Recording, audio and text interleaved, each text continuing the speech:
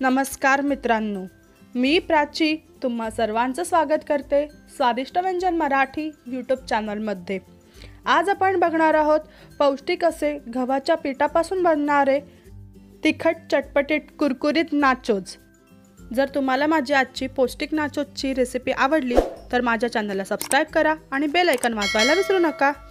चला तर मग बघूया त्यासाठी लागणारं साहित्य. इथे मी एक कप गव्हाचं पीठ घेतलेलं आहे. पाव कप बेसन आवश्यकतेनुसार पाणी घ्यायचं आहे तेल तळण्यासाठी मीठ चवीनुसार अर्धा छोटा चमचा हळद एक छोटा चमचा लाल तिखट एक छोटा चमचा चाट मसाला एक छोटा चमचा ओवा एक मोठा चमचा तेल आणि थोडीशी कोथिंबीर.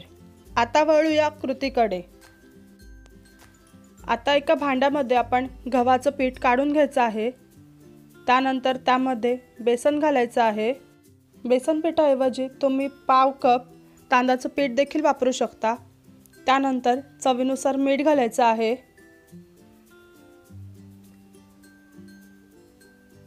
अर्धा छोटा चमचा आपण हळद घालतोय. एक छोटा चमचा लाल तिखट तुम्ही तुमच्या आवडीप्रमाणे कमी जास्त करू शकता. एक छोटा चमचा मी चाट मसाला वापरलेला आहे. तुम्हाला नको असल्यास तुम्ही स्किप केलं तरीही चालेल. एक छोटा चमचा आपल्याला ओवा घ्यायचा आहे क्रश करून अशा प्रकारे. त्यानंतर थोडीशी कोथिंबीर घ्यायची आहे.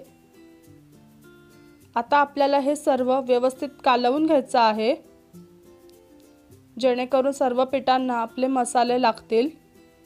त्यानंतर इथे एक मोठा चमचा आपण तेल ओतायचं आहे. आता तेलही पिठाला व्यवस्थित कालवून घ्यायचं आहे. तेल व्यवस्थित लावून झालं की आता आपण त्यामध्ये थोडं थोडं पाणी वापरत आपल्याला एक छान घट्ट असा पिठाचा गोळा तयार करायचा आहे.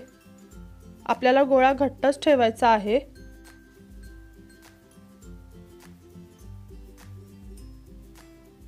अशा प्रकारे पिठाचा आता छान गोळा तयार झालेला आहे. अशा टाईपची कन्सिस्टन्सी हवी आहे त्याला. आणि त्यानंतर वरून आपल्याला थोडंसं तेल लावायचं आहे.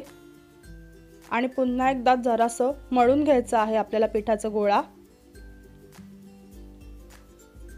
पुन्हा एकदा आपलं व्यवस्थित मळून झालं की आता आपण झाकण ठेवून हे अर्धा तास बाजूला ठेवून देणार आहोत. आता अर्धा तास झालेला आहे.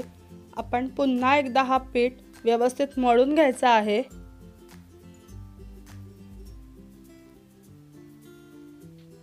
आता आपलं पीठ व्यवस्थित मळून झालेलं आहे. आता आपण ह्याचे छोटे छोटे बॉल्स तयार करून घ्यायचे आहेत. छोटे गोळे बनवायचे आहेत. पुरीपेक्षा थोड्या मोठ्या आकाराचे मी गोळे बनवत आहे. अशा पद्धतीने आपण संपूर्ण पेटाचे गोळे करून घेतलेले आहेत. त्यानंतर आपल्याला वाटल्यास थोडंसं सुका पीठ घेऊन गव्हाचंच पीठ वापरलेलं आहे. आणि त्याची एक छान पुरीपेक्षा थोडी मोठी आपल्याला चपाती टाईप बनवून घ्यायची आहे. आपल्याला हे पातळच चपाती बनवून घ्यायची आहे. अशा पद्धतीने आपली आता चपाती तयार झालेली आहे. आता मी हे पिझ्झा कटाच्या साह्याने कट करत आहे. तुम्ही सुरीच्या साह्याने देखील कट करू शकता. अशा पद्धतीने मी ह्याचे आठ भाग पाडत आहे. आणि आता काटा चमच्याच्या मदतीने आपल्याला नाचोजला टोचे मारायचे आहेत. जेणेकरून तळल्यानंतर आपले नाचोज जास्त फुलणार नाही आणि क्रिस्पीसुद्धा राहतील. अशा पद्धतीने आपले टोचे मारून झालेले आहेत. आता मी एका प्लेटमध्ये बाजूला काढून घेत आहे. आणि अशाच पद्धतीने आपण दुसऱ्या गोळ्याचेही अशाच प्रकारे चपाती लाटून त्यावर फोकने टोचे मारून आपण त्याचे नाचोज बनवून घ्यायचे आहेत. आता मी दुसरा गोळा घेतलेला आहे. आणि पुन्हा एकदा त्याची पातळच चपाती लाटून घेत आहे. आपण जाडसर ठेवायची नाही आहे चपाती पातळच लाटून घ्यायची आहे. आणि अशा पद्धतीने कट करून आपण पुन्हा फोकच्या मदतीने टोचे मारून घ्यायचे आहेत. आणि आपले नाचोस तयार झालेले आहेत ते आपण प्लेटमध्ये काढून घ्यायचे आहेत.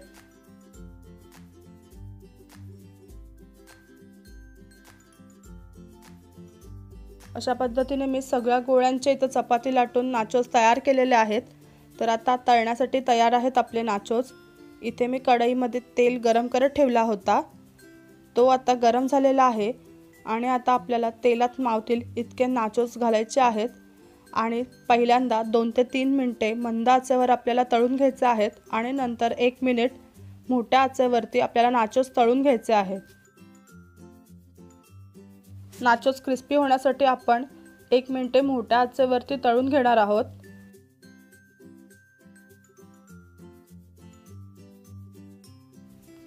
आपले नाचोस आता व्यवस्थित तळून झालेले आहेत. आता मी हे टिश्यू पेपरमध्ये काढून घेत आहे. आणि आता पुन्हा एकदा दुसरी बॅच सोडणार आहे. अशाच पद्धतीने आपण सर्व नाचोस थोडे थोडे करत व्यवस्थित तळून घ्यायचे आहेत. सुरुवातीला दोन ते तीन मिनटं मंद आचेवरती व नंतर एक मिनटे मोठ्या आचेवरती आपल्याला सर्व नाचोस तळून घ्यायचे आहेत. तर अशा पद्धतीने आता आपले सगळे नाचोच तयार झालेले आहेत.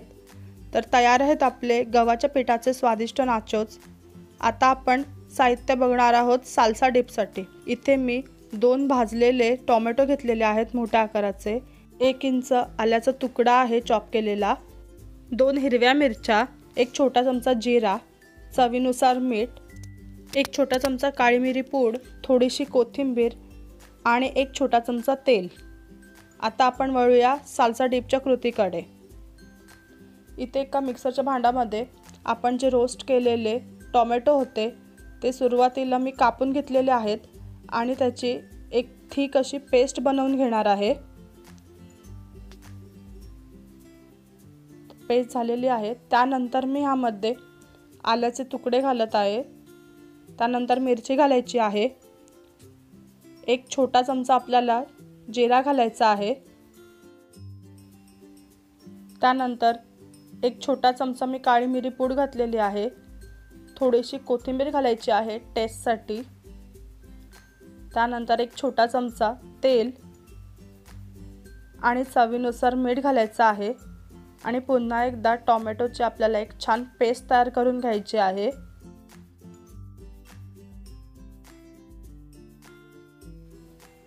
आता पेस्ट झालेली आहे तर अशा प्रकारे आपला सालसा डिप तयार झालेला आहे. नाचोसोबत खूप छान लागतो सालसा डिप. आणि आता मी हे एका वाटीमध्ये काढून घेत आहे. वरून गार्निश करून खाण्यासाठी तयार आहे आपला सालसा डिप नाचोसोबत. त्यानंतर आपण आता पिंक चीज डीपसाठी साहित्य बघणार आहोत. त्यासाठी मी एक कप दूध घेतलेलं आहे. दोन चीज क्यूब्स घेतलेले आहेत. मी इथे गोचे चीज क्यूब वापरलेले आहेत. एक मोठा चमचा मैदा घेतलेला आहे. एक मोठा चमचा बटर मीठ चवीनुसार एक चिमूटभर काळा मिरी पूड एक छोटा चमचा मिक्स हब्स एक छोटा चमचा टोमॅटो सॉस पिंक चीज डीपच्या कृतीकडे. त्यासाठी इथे मी कढई तापत ठेवलेली आहे. त्यामध्ये मी एक मोठा चमचा बटर घातलेला आहे. त्यामध्ये आपण एक मोठा चमचा मैदा घालायचा आहे आणि दोन्ही व्यवस्थित मिक्स करून घ्यायचं आहे. आपल्याला ही संपूर्ण प्रोसेस मंदाचेवरतीच करायची आहे.